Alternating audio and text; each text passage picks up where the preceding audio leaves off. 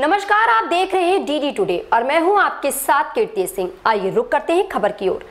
नसरुल्लागंज क्षेत्र के ग्राम लाड़कोई में बजरंग सेना राष्ट्रीय अध्यक्ष रणवीर सिंह पटेरिया और राष्ट्रीय संयोजक रघुनाथ शर्मा का बजरंग सेना परिवार ने डोल तासों की थाप पर पुष्प वर्षा कर अभिवादन करते हुए श्री राम जानकी मंदिर प्रांगण पहुँचे, जहाँ बजरंग सेना राष्ट्रीय अध्यक्ष और राष्ट्रीय संयोजक का बजरंग सेना परिवार के साथ ग्रामीणों ने पुष्पहार पहनाकर स्वागत किया। वहीं राष्ट्रीय अध्यक्ष रणवीर सिंह ने भव्य स्वागत के लिए धन्यवाद ज्ञापित करते हुए कहा कि भारत देश हिंदू राष्ट्र घोषित हो इसके लिए हम प्रयास कर रहे हैं। नितिन मालपानी की रिपोर्ट। सर अपना परिचय। बजरंग सेना राष्ट्रीय अध्यक्ष रणवीर पटेरिया। आज आज आज हम लोग ग्राम लाल लाड़कुई में आए हुए थे, जो माननीय मुख्यमंत्री जी का क्षेत्र है। और यहाँ पर हमारे सभी भाइयों ने बजरंग सेना परिवार का बहुत स्वागत किया। मैं सभी का बहुत बहुत धन्यवाद करता हूँ।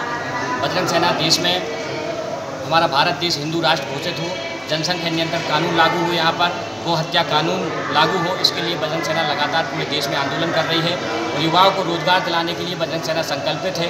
आज पूरे भारत देश में इस पर पूरे कार्य चल रहा है और हम लोग 26 जनवरी तक हमने माननीय देश के प्रधानमंत्री जी को समय दिया है कि 26 जनवरी तक हमारे देश को हिंदू राष्ट्र घोषित किया जाए, क्योंकि जब भारत और पाकिस्तान का बंटवारा हुआ तो उसमें पाकिस्तान को मुस्लिम राष्ट्र घोषित कर दिया लेकिन हमारे भारत देश को हिंदू राष्ट्र घोषित नहीं किया। ये हम लोगों के साथ अन्याय हुआ है इसलिए हम इसके लिए लड़ रहे हैं और हम अपने देश को हिंदू राष्ट्र घोषित करवा कर रहे हैं।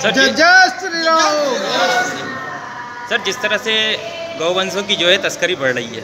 इस बारे में आप कुछ कहना चाहेंगे? वास्तव में गौ तस्करी बहुत ज़्यादा बढ़ रही है मध्य प्रदेश में क्या पूरे भारत देश में? उसके लिए बजरंग सेना लगातार आंदोलन कर रही है। माननीय प्रधानमंत्री जी को तीन बार हम लोग ज्ञापन सौंप चुके हैं इस संबंध में।